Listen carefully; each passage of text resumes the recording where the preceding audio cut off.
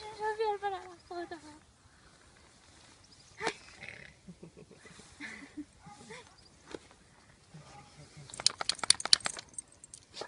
A ver, saca alguna foto.